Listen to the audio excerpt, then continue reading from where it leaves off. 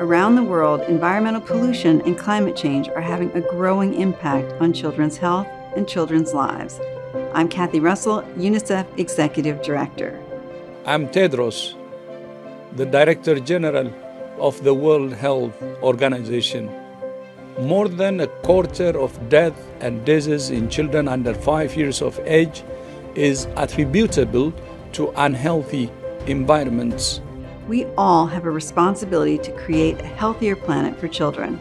The health sector has an especially crucial role to play, and that starts by making children's environmental health a priority. WHO and the UNICEF have come together to create this free online course for health workers outlining what they can do to protect children's health from pollution and climate change.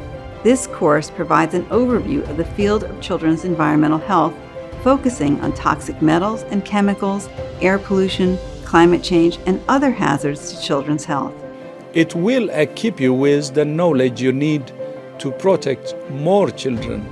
UNICEF and WHO believe that every child has the right to grow up in a healthy environment.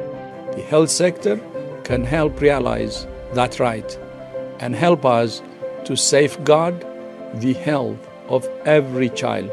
I thank you.